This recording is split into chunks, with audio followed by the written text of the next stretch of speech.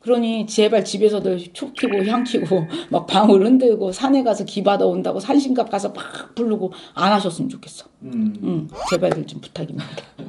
어, 어.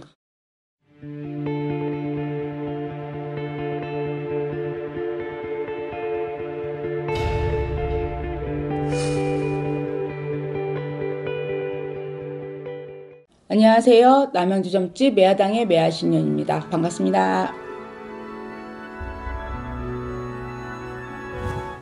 요즘에 이렇게 빙이라든지 귀신에 음. 들린다든지 안 그러면 귀신이 따라붙는다는 사람들이 많은데 혹시 이런 사람들의 특징이 있을까요?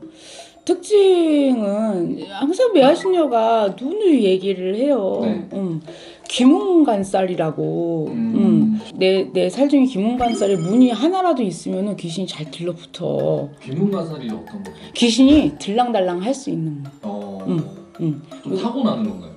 네, 그쵸. 거의 보면은 우리 무당 선생님들 사주에 좀 그런 게 많아. 음. 근데 내가 이 귀문관살이 없음에도 불구하고 귀신이 따라 듣는다. 이거는 자기네들 귀문관살을 만들라 그래. 음. 음, 이게 자고로 뭐냐? 이건 정신병이겠지. 왜 그렇게 귀신을 보고 싶어 하고 귀신을 부르고 싶어 하고 하는 사람들이 왜 이렇게 많은지 모르겠어. 그게 요즘에 음. 진짜 많은 것 같아요. 음, 정말로 그런 뭐 귀문관살에 있는 사람들 같은 경우에는 집 자체 내에서 향도 피면 안 돼, 정말. 음. 음. 어떤 사람 같은 경우에는 인터넷에서 방울을 사. 음. 봐. 그래서 소리 듣고 막 우리네들처럼 하는 거 마냥 막 흔들어 흔들고 막 그러는 거지. 자기가 자기를 갖다가 이렇게 자꾸 자기 체면을 걸어서 내 귀문을 열어서 자꾸 귀신을 불러 들이는 사람들이 꽤 있더라고요. 어. 아니면은 내가 어, 내 귀를 수양을 하러 간다. 나는 뭐 내가 이런 거를 느낀다. 막 그냥 자기 혼자 착각을 하는 사람들이 굉장히 많더라고. 음. 그래서 산에 올라가서 뭐 기수련화를 하겠다 하면서 뭐 어디 산신각 같은 데서도 가갖고 어 뭐뭐 뭐 기를 받아와야 되겠다 전기를 받아와야 되겠다 하면서 귀신을 막 불러들이는 사람들이 꽤 있어. 뭐 흉가도 많이 가기도 하겠죠. 음 음.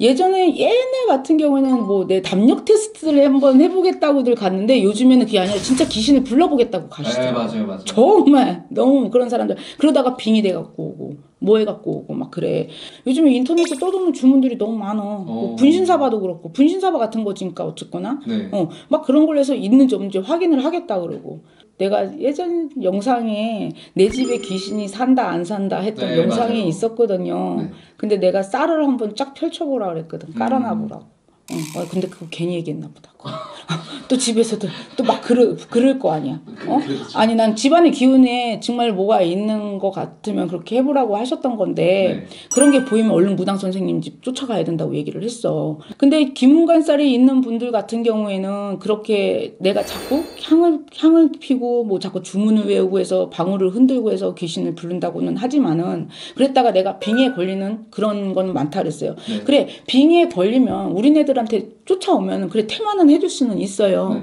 근데 이게 음 이게 자기도 모르게 자기 체면을 많이 걸러버리는 거지. 음. 이런 거는 내가 그랬잖아. 귀신이 걸린 게 아니라 정신병일 수도 있다고. 그러면은 이런 사람 은 무당집을 데리고 왔단 말이지. 나- 저는 진짜 병원으로 보낸 분들도 많아요. 이건 귀신병 아니고 이 양반 자체가 응, 음. 어, 이렇게 된 거라고. 한 번 치고는 지나가지만 몸에 안착은 안 된단 말이지. 음. 응, 기문이라는 거가 네. 없기 때문에. 근데 어떻게 정신을 자꾸 쳐.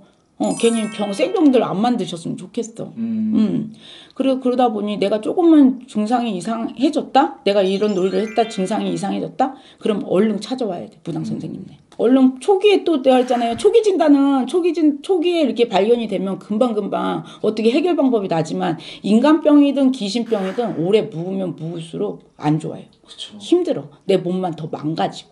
그러니 제발 집에서도 촉 키고 향 키고 막 방울 흔들고 산에 가서 기 받아 온다고 산신갑 가서 막 부르고 안 하셨으면 좋겠어. 음. 응, 제발 좀 부탁입니다. 어, 어. 귀신이 유독 잘 붙는 사람들에 대해서 이렇게 풀어봤는데요. 어떻게 궁금증들 해결되셨는지 모르겠어요. 음, 오늘도 이렇게 시청해주셔서 감사드리고요. 다음엔 더 좋은 컨텐츠로 찾아뵙겠습니다. 감사합니다.